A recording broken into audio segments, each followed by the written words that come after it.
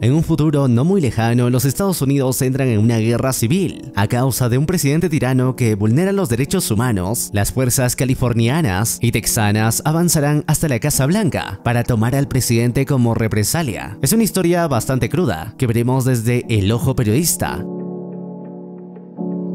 Hablando de guerra, este video llega gracias a Conflict of Nations World War, un juego de estrategia en tiempo real y multijugador, basado en la Segunda Guerra Mundial donde los jugadores pueden manejar a la mayoría de los países existentes en aquella época y sus líderes. Es una propuesta bastante interesante. Una de las cosas que más me agradaron es que puedes utilizar muchas unidades diferentes para construir tu propio ejército. Pueden ser tanques, aviones, hasta submarinos nucleares. Por otro lado, puedes forjar alianzas con los países vecinos o directamente declarar la guerra. En lo personal, me decanto por la última opción, pero la decisión es tuya. Los gráficos del juego en lo personal me gustaron mucho. Está disponible para Android, iOS y hasta incluso PC totalmente gratis. ¿Qué esperas? Únete ahora y obtén un regalo exclusivo de 13.000 de oro y un mes de suscripción premium, totalmente gratis. No pierdas esta oportunidad y pásate por el enlace de la descripción. Únete a esta gran oportunidad de liderar tu país hacia la victoria. Esta surreal historia comienza en la Casa Blanca con el presidente de los Estados Unidos, quien se prepara para dar una conferencia practicando sus líneas, mientras vemos que afuera el país se encuentra desbordado por manifestaciones violentas, robos, asesinatos, atentados y explosiones que las Fuerzas Armadas no pueden controlar. Ya en el estrado, el presidente le anuncia al mundo que las llamadas Fuerzas Occidentales de Texas y California sufrieron una gran derrota pues fracasaron gracias al ejército combatiente de los Estados Unidos, conformado por hombres y mujeres valientes. Por ello, el presidente anuncia también que cuando se destituya el gobierno ilegal de esos estados, los habitantes serán bienvenidos para formar parte de la nación de los Estados Unidos. Además, anuncia que la Alianza de Florida falló en su intento de obligar al pueblo de las Carolinas a unirse a su insurrección. Y como los últimos grupos de resistencia ya están siendo eliminados, el presidente deja en claro que están cerca de la victoria. Pero esto no es más que una vil mentira. Desde lo lejos, este discurso fue visto por la periodista Lee Smith, quien en ese momento observa que acaba de suceder una explosión cerca de su edificio. Al día siguiente, Lee comienza su jornada laboral trasladándose al foco de una manifestación junto a su compañero Joel. Una vez ahí, por seguridad, Joel hace que Lee adopte la ropa clásica de un periodista. Así, Lee procede a capturar los momentos exactos cuando la turba enfurecida intenta superar la barrera de la policía. En medio de esto, uno de los golpes de la policía impacta en una periodista independiente y sin pensarlo, Lee deja atrás su trabajo para ir a ayudarla. Al ver que solo se trata de una adolescente llamada Jessie, Lee decide entregarle su uniforme para que no sea arrestada. Los saludos se interrumpen cuando de repente la multitud comienza a desconcentrarse pues enseguida estalla una bomba en medio de la policía. Luego del estruendo, sin perder tiempo, Lee hace su trabajo y captura la escena propia de una carnicería con su cámara. Jessie planea marcharse, pero antes de hacerlo, inmortaliza a Lee trabajando en una fotografía. Tras esto vemos que Lee regresa al hotel de periodistas, donde se reúne con sus colegas. Aquí Joel le menciona a su amigo Sammy que las fuerzas occidentales están a 200 kilómetros de Washington DC y están más cerca de lo que parece de la Alianza de Florida. Sammy explica que esas fuerzas no desaparecieron, sino que tienen un perfil bajo porque perdieron sus suministros y cree que cuando la capital caiga se enfrentarán entre ellas. Dicho esto, Sammy les pregunta si planean quedarse en Nueva York o arriesgarse a salir en búsqueda de una historia. Amistosamente Joel lo manda al diablo pues no quiere revelar sus movimientos, pero Lee le informa que marcharán hacia DC en la mañana para fotografiar y entrevistar al presidente quizá en sus últimos momentos de poder. Sammy les advierte que es una estupidez, pues en la capital los periodistas son considerados enemigos públicos y es muy probable que los reciban con un tiro en la cabeza. Joel le recuerda que el Poder Ejecutivo no ha dado una sola entrevista desde hace 14 meses y hasta donde saben, al presidente solo le queda poco menos de un mes de poder. Por ello, si logran hablar con él, será el artículo con mayor repercusión en sus carreras y en la historia. Sammy continúa con sus advertencias revelando que las carreteras están bloqueadas y que el único camino es ir al oeste para rodear por Virginia Occidental. Dicho esto, Sammy les revela que también planeaba ir a Washington pero no a DC, sino al frente, donde es más seguro para ellos. Sin embargo, ahora al comprender la situación y como son de periódicos rivales, Sammy pide unirse a ellos. Lee acepta y se aleja a descansar. En medio camino, Lee es interceptada por Jesse, quien dice estar ahí para agradecer agradecerle y devolverle el uniforme de prensa, revelándole que ella es su más grande fan. Lee se lo regala y la recomienda comprarse un casco si planea asistir a más manifestaciones. Más tarde, mientras Lee disfruta de su baño, su mente comienza a ser invadida con las escenas de caos y violencia en las que estuvo, desde incendios, linchamientos y ejecuciones. Al día siguiente, la ciudad amanece igual que todos los días, con los militares vigilando desde las alturas a cualquier posible terrorista para interceptarlo en el acto, y en medio de los ciclistas avanzan los tanques de guerra como patrullaje. Cuando Lee está lista para partir, observa que Jesse está en su auto, así que le exige explicaciones a Joel. Este le menciona que Jesse posee 23 años y que ella misma se ofreció para ser igual a Lee. Ella acepta, pero deja en claro que Jesse no podrá acercarse a DC. De esta forma, el equipo de periodistas suicidas inician su travesía adentrándose en las carreteras que debido a la guerra civil ahora se encuentran congestionadas por vehículos abandonados de personas que alguna vez intentaron escapar de la violencia. Pronto llegan al primer puesto de control militar, que logran atravesar sin problemas, gracias a sus credenciales de prensa. En el camino, Sammy propone preguntas para el presidente como saber qué estaba pasando cuando disolvió el FBI, o su aprobación para ataques aéreos en contra de civiles inocentes, o si planea extender su tercer mandato, pues en este universo el presidente se volvió un tirano, lo que provocó una guerra civil. Tras esto, a pesar de ver hombres armados protegiendo una gasolinera, deciden acercarse para intentar abastecerse de combustible, pues comprenden que no podrán seguir avanzando sin ello. Aquí, el guardián armado les exige ver sus permisos locales para poder venderles. Joel revela no tener ninguno lo que complica el trato hasta que Lee logra sobornar al guardián con dinero canadiense, pues el dinero estadounidense estaba muy devaluado. Mientras tanto, Jesse decide bajar para inspeccionar la parte trasera de la gasolinera, pues algo llamó su atención. Ante esto, uno de los guardias llamado Eddie va tras ella y procede a mostrarle el cuerpo de dos hombres colgados por ellos. Lee sigue sus instintos y se une a ellos para apreciar este paisaje. Eddie explica que se trata de dos Al ver que todavía respiran, Eddie le da a Jesse la oportunidad de decidir si los ejecuta en ese momento o continuará torturándolos mientras sigan con vida. Lee ayuda a Jesse entrometiéndose para pedirle a Eddie que pose junto a los saqueadores para una foto, y como Eddie parece ser un narcisista, acepta con mucho gusto. Ya de nuevo en la carretera, Jesse se lamenta por no haber tomado ninguna fotografía o haberle dicho que no ejecutara a los saqueadores. Joel explica que no tenía poder alguno sobre las vidas de esos hombres, y Lee le da la razón, recordándole que un periodista no puede intervenir. Además le advierte que lo que acaba de ver no se compara con nada de lo que será testigo en su carrera. Luego de varias horas de conducir, el equipo se adentra en las afueras de una ciudad devastada por la guerra, con no más que perros abandonados habitando sus calles. Ante esto, Lee decide hacer una parada para guiar a Jesse hasta un helicóptero derribado y que pueda tomarle fotografías como método de aprendizaje. En el proceso, Jesse le cuenta que su cámara le pertenecía a su padre, quien actualmente vive en Missouri, en una granja, fingiendo que todo esto no ha pasado. Luego, cuando intenta pedirle perdón por haberse involucrado, le advierte que tendrá presente que fue su propia decisión cuando se vuelva loca o le disparen, pero no dudaría en tomarle una fotografía si eso pasara. Por la noche, Lee y Sammy conversan. Ella le cuenta que en un principio pensaba que el tomar la fotografía sería utilizada como advertencia para la sociedad, pero ahora cree que nada de eso sirve. Sammy asegura que Jessie se parece mucho a ella cuando tenía su edad y sabe que no está enojada con la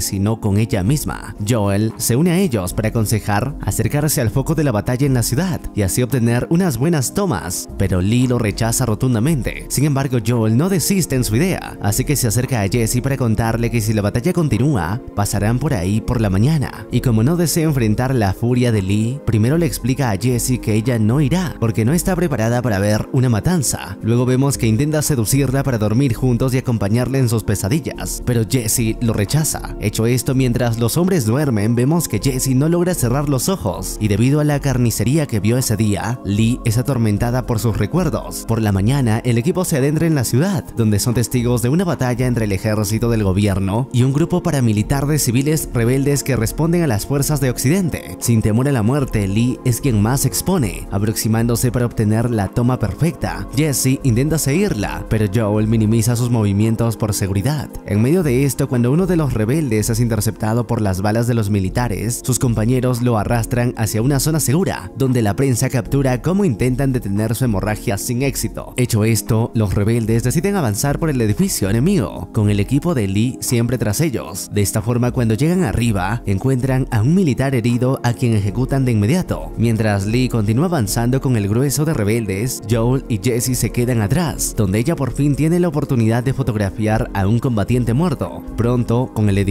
tomado, vemos que los rebeldes logran capturar al resto de militares escondidos, y esta vez mientras son llevados a su muerte, Jesse imita a Lee y captura con su cámara cómo los soldados son acribillados por una ametralladora que los llena de agujeros y hace que sus cuerpos bailen aún después de la muerte. Sin más que documentar, los periodistas continúan con su viaje, y cuando se encuentran a 289 millas de DC, llegan hasta un estadio de fútbol que funciona como campamento de refugiados, y como tienen las acreditaciones de la prensa, se les permite ingresar sin problemas. Una vez dentro, Lee y Joel son testigos de cómo los niños se divierten a pesar de vivir en un mundo en conflicto. Poco después, Lee decide llevarle la comida a Jesse, quien le muestra que aprovecha los descansos para revelar sus fotografías empleando su propio calor corporal. Y cuando Jesse le pregunta por su origen como periodista, Lee le cuenta que sus padres están en una granja, al igual que los de Jesse, y que, así como está escrito en Wikipedia, ella se hizo famosa cuando tomó la fotografía de una masacre en su juventud. Aquí, luego de ver que la mayoría de sus fotografías no tienen calidad, Jesse encuentra una donde captura el momento del rebelde con la hemorragia, y así obtiene la aprobación de Lee. Al caer la noche, los periodistas se amueblan a la paz del lugar compartiendo una botella de un Blue Label de Johnny Walker para estar más cómodos, pero al amanecer, vemos que continúan su camino atravesando las calles desoladas, que solo muestran incendios aislados y algunas escasas personas intentando escapar a pie. Al ser testigo de ello, Jesse decide fotografiar a sus propios compañeros y así poder ver cómo los demás experimentan ese mundo. Luego de conducir varias horas, el equipo se adentra en una comunidad pacífica y próspera, donde no comprenden cómo algo así puede existir en estos tiempos. Incluso sugieren que tal vez atravesaron un portal de otra dimensión.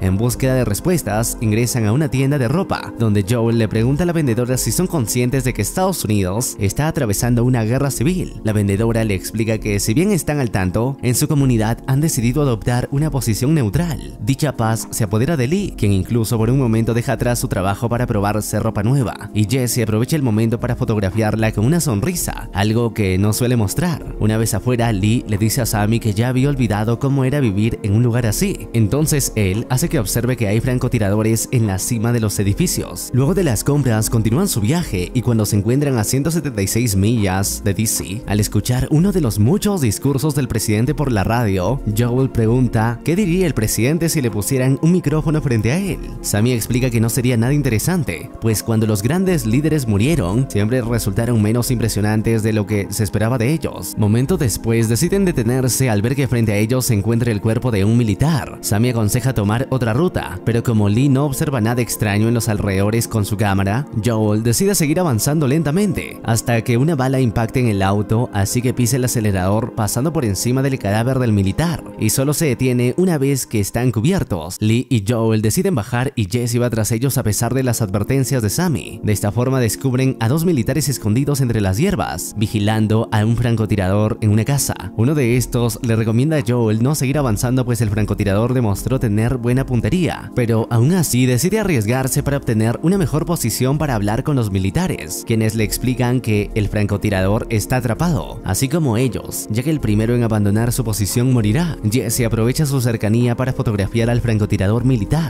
quien luego de un buen rato dispara, informándoles que logró ejecutar al francotirador enemigo. De esta forma los periodistas reanudan su viaje. En el camino, al ver que Jessie se muestra agotada, Sammy le aconseja dormir cada vez que pueda pues no saben qué puede suceder después. Cuando Lee toma el volante perciben que se aproxima un auto a toda velocidad que incluso casi derrapa. Sammy aconseja desacelerar y evitar contacto visual, ya que era muy sospechoso. Sin embargo, el vehículo se pone a la par de ellos y procede a tocar la bocina como un desquiciado, hasta que Joel despierta de su siesta y los reconoce pues se trata de su colega periodista Tony y su nuevo chofer llamado A. Este le revela a Lee que decidió seguirlos luego de que Joel hablara sobre el viaje cuando estaba ebrio. Dicho esto, aprovecha su cercanía para infiltrarse en su auto solo por diversión, y Jesse decide imitarlo realizando la misma maniobra para pasar de un auto al otro. Y como A es un desquiciado al volante, avanza a toda velocidad hasta que Lee y el resto los pierden de vista. Pasan los minutos y el auto de A no aparece. Esto desata una discusión con Lee exigiéndole a Tommy saber dónde está Jesse, pero justo ahí enfrente aparece un tanque que los hace desviarse al bosque donde casi chocan. Pero esto no es lo grave, lo grave sucede minutos después, cuando en la carretera vuelven a encontrar el auto de A, pero sin nadie en su interior. Deciden indagar y al acercarse descubren que fueron capturados por un grupo de paramilitares locales, quienes llevan a A y Jesse hasta un camión repleto de cuerpos que arrojan en una fosa. Sammy propone marcharse, pues todo apunta a que los paramilitares son sádicos que si ven a periodistas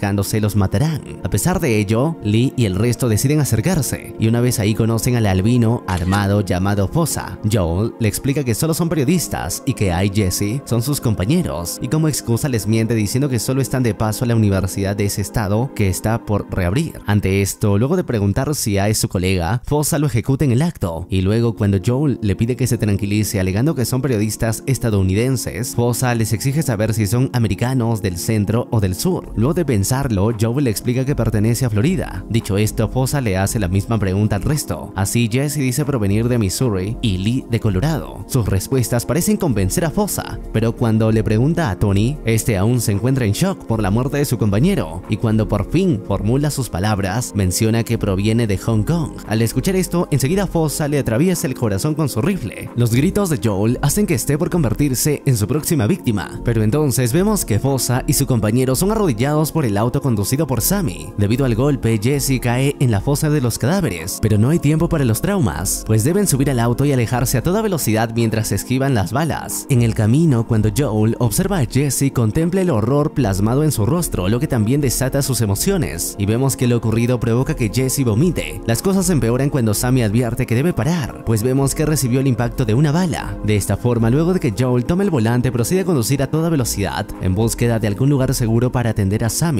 Sin embargo, en su camino solo encuentra muerte y destrucción materializado en incendios forestales, que las mismas personas provocaron por algún motivo. Al amanecer logran llegar a la base militar occidental en Charlottesville, protegida por tanques, helicópteros y aviones de las fuerzas rebeldes. Pero vemos que ya es tarde pues Sammy ha muerto, y Joel expresa su ira con un grito de frustración, mientras a su lado pasan los soldados ignorando su sufrimiento por ser algo común para ellos. Aquí, luego de eliminar la fotografía que le tomó al cuerpo de Sammy por respeto, Lee se reúne con Joel y sus otros colegas de la prensa llamados Davey y Anya. Estos le revelan que las fuerzas occidentales pronto llegarán a DC, pues las milicias del gobierno prácticamente se rindieron, lo que significa que el gobierno solo está protegido por unos cuantos soldados y el servicio secreto. Por ende, las muertes de Sammy y Tony serán en vano, ya que no podrán llegar hasta el presidente antes de que lo maten. Sin opciones, Lee se aleja para reflexionar y así llega hasta Jesse. Esta le menciona que todavía está procesando lo sucedido y si bien no conoció a Sammy tanto como ella, siente su pérdida. Lee le explica que Sammy siempre fue como se mostró y si bien puede sonar retorcido, la forma en que murió es una de las más pacíficas que pudo haber enfrentado en su trabajo. Jesse le revela que nunca estuvo tan asustada como en esos últimos días, pero al mismo tiempo nunca se sintió tan viva. Poco después son testigos de cómo las fuerzas occidentales comienzan a desplegarse para marchar hasta DC. Sin opciones, Lee y su equipo se unen a ellos y al pasar la noche llegan a la capital, donde pronto rodean la Casa Blanca abriendo fuego contra las fuerzas del presidente. Por algún motivo, Lee permanece inmóvil tras un tanque a diferencia de Joel y Jesse, quienes se arriesgan para capturar los momentos más icónicos con sus cámaras. Luego de ver cómo un misil impacta en la Casa Blanca, los periodistas siguen a las fuerzas occidentales, avanzando por la ciudad donde, en medio de tanta destrucción, Joel y Jesse intercambian sonrisas mutuas, espontáneas, a diferencia de Lee, quien parece tener problemas para incluso respirar. Después de que un tanque despeje el camino, los militares de Occidente se infiltran en un edificio y al llegar a la azotea, comienzan a lanzar granadas contra la fortaleza de la Casa Blanca. Por su lado, el escuadrón de abajo emplea un tanque para avanzar hasta el otro lado, y con ellos los periodistas lo aprovechan para cubrirse.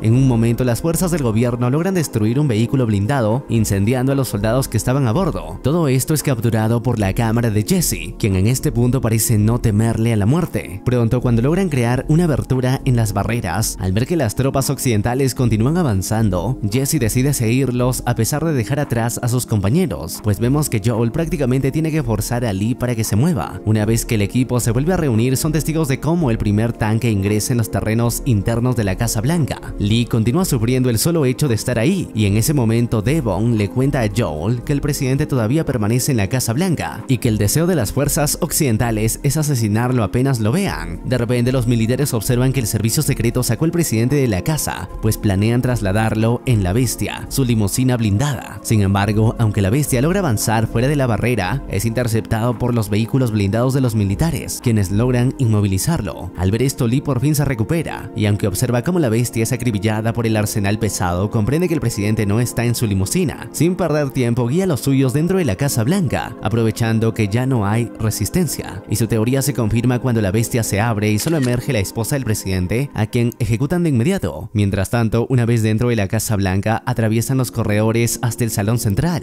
pero no encuentran a nadie. Pronto llegan los militares para continuar su búsqueda, y así llegan hasta la sala de prensa donde encuentran a la secretaria de prensa dispuesta a negociar la rendición del presidente. Los militares prometen que el presidente estará seguro si se entrega, pero la secretaria exige que si se entrega, sea llevado a un territorio neutral como Groenlandia o Alaska. Las fuerzas occidentales lo rechazan, y luego de ejecutar a la secretaria continúan avanzando a la batalla final contra el servicio secreto al otro borde del pasillo. La adrenalina hace que Jesse se deje llevar pues los soldados le advierten que no se exponga en varias ocasiones. Sin embargo, luego de que derriben a uno de los traidores del servicio secreto, Jesse se confía y decide exponerse para un mejor ángulo, justo cuando otro francotirador se prepara para disparar. Al ver esto, Lee se lanza sobre ella para sacarla del alcance de las balas, lo que provoca que sea ella quien reciba el impacto. Y Jesse vuelve a demostrar su estado frenético, cuando a pesar de ello, procede a fotografiar a Lee siendo derribada para luego terminar cayendo a su lado. Por un momento queda en shock, pero las palabras de Joel la impulsan a seguir avanzando. Así vemos que los militares por fin llegan hasta el presidente, pero antes de que lo ejecuten, Joel obtiene su permiso para hablar con él y así obtener una declaración final para su artículo. Y luego de que el presidente le pide que no deje que lo maten, Joel siente que es suficiente, así que el cuerpo del presidente comienza a ser rellenado de plomo mientras Jesse inmortaliza el momento para siempre, finalizando así con Civil War. Por cierto, no olvides unirte a Of Nations Civil War y obtener tu regalo exclusivo de 13.000 de oro y un mes de suscripción premium. Una oferta solo disponible por 30 días. No pierdas el tiempo y haz clic en el enlace de la descripción. Elige tu país y lucha hasta llegar a la victoria.